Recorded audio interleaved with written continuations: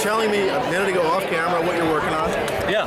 What is that? Well, I'm working on uh, my grief over the, uh, the cancellation of Luck. We all are. Yeah, I'm still, I'm still, like, uh, I'm, uh, I just finished a film, um, Cesar Chavez, that Diego Luna directed and John Malkovich produced, and um, getting ready to go to London to uh, reprise my role in Fast and Furious. I'm going to be working in London for a couple of weeks on that. That's fantastic. You you you played the you were sort of Julio Canani's alter ego for a while, you know, following and learning the business. What what surprised you the most about horse racing or about the horse business in the months and the time that you were working with it?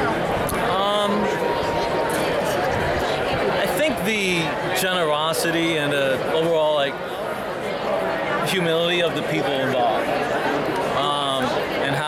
accessible they were to me, and in getting to know them, um, I learned how like it's it's just amazing to see passionate folks going about their work every day, from like every single day, no off day, no no vacation, and um, that was what and how dedicated they are to it. And the link the linkage or the parallels the similarities between horse racing and acting You guys me, actually have long days too, right? I mean, it's it, you We hear do. about actors that start very early in the morning sometimes. Absolutely Like, like grooms yeah, and trainers. absolutely so so me going there to do research at four in the morning didn't scare me um, being an outcast didn't scare me because as actors and as people in the entertainment business we're like pretty much forced to the you know we're all folks from like the outskirts of society in a sense you know and and we're like if there's anything that we could have done, we would have done it. So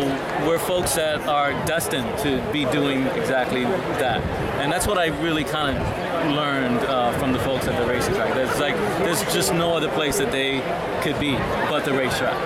John, unfortunately, luck has been canceled, but you're here today. Yeah, Does that mean yeah, that we have a new racing fan? Oh yeah, I mean it's no secret, man. I, I, I mean, you know, the folks, the folks, uh, the folks at Santa Anita and at Hollywood used to see me more uh, off camera than on camera, you know. And so it's just it, it, actually to my surprise because I always thought, you know, as soon as the show's over, I'm not going to be at the track as much, but that's not true. You know, um, here I am, you know, 100 miles or so from my house, and uh, I just needed to be here. I heard a lot about opening day at Del Mar, and uh, I'm so glad I'm here. Good. Well, thanks for spending a few minutes. with us. Really Absolutely. appreciate. It's really nice being here. Yeah. Yeah.